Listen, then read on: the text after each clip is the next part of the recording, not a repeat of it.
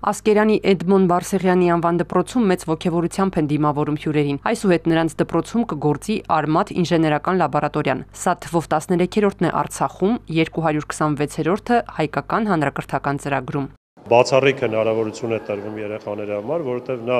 հնարավորություն է տալիս առնչվել ժամանակակից տեխնոլոգիաներին, տեղեկատվական տեխնոլոգիաներին, ինժեներական ուրեմն մասնագիտություններին,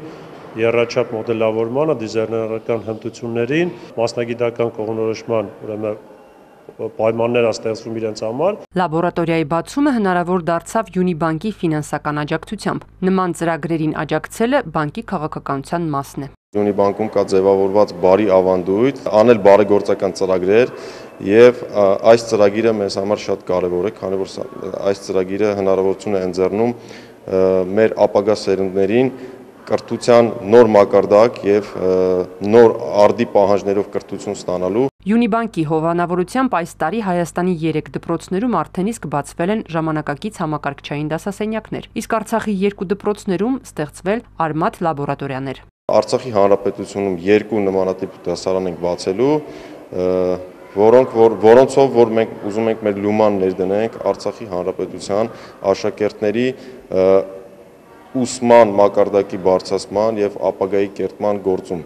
Մարզերում ու հատկապես ծայրամասային գյուղերում լաբորատորիաների բացումը ինֆորմացիոն տեխնոլոգիաների ձեռնարկությունների միության քաղաքականությունն է։ Ծրագրի հիմնական նպատակն է, որ լաբորատորիաներում ուսանածները կարողանան տեխնիկական ճանապարհով լուծել համայնքային խնդիրները։ Այն, որ գյուղական բնակավայրերում պոտենցիալ ունեցող երեխաներ շատ կան, նաև տեղերում են հաստատում։ Իշխանաձորի պատանիները վաղուց են հետաքրքրված նոր տեխնոլոգիաներով։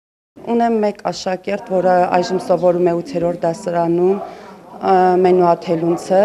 երբ ես եկա համայնք նկատեցի, որ երեխան փորձում է ինքնաշեն սարքավորումներ ստեղծել, բավականին լուրջ աշխատանքներ էր տանում։ Խմբակներն անվճար գործելու են, գործելու են դասերից դուրս, իսկ արդյունքները երկար սպասել չեն տա։ Միգուցե նաև տեխնոլոգիական ցուցահանդեսներից մեկը հենց Արցախում անցկացվի։ Յունիբանկի ներկայացուցիչները վստահեցրին, որ ծրագիրը լինելու է շարունակական եւ բանկը աջակցելու է կրթական հաստատություններին, հատկապես սահմանամերձ դպրոցներին։ Հասմիկ Կոհանյան, Մարինե Մկրտչյան, Էպիկենտրոն, Արցախ։